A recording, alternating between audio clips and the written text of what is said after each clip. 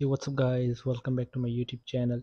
So guys in this video i'm going to show you how to fix messages app crashing on iphone iphone 14 and for 13 series. So guys let's get started. This video without wasting any time. So guys first of all force quit the messages app on your iphone. So quit the messages app. And then after this the next solution is hard reset your iphone. So for the hard reset iphone. So guys if you want to hard reset your iphone. So simply what you need to do is simply tap on uh, volume up button tap on volume down button and tap and hold the power down uh, power button.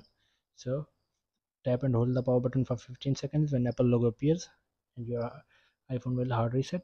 And then after this the next solution is turn off and on imessage. So for this go to settings scroll down and find messages here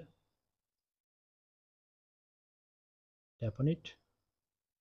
So so simply tap to turn this iMessage off and turn it on again and wait for the waiting for activation here.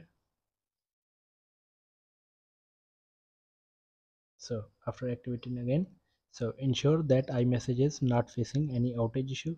So for the check go to swipe browser and search iMessage outage current status check here.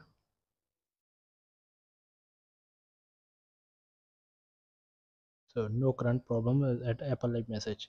So iMessage is working correctly.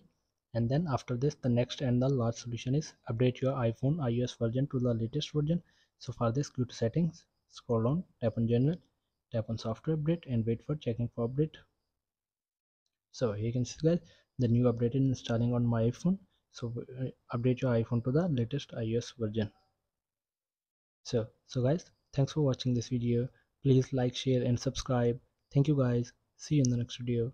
Thank you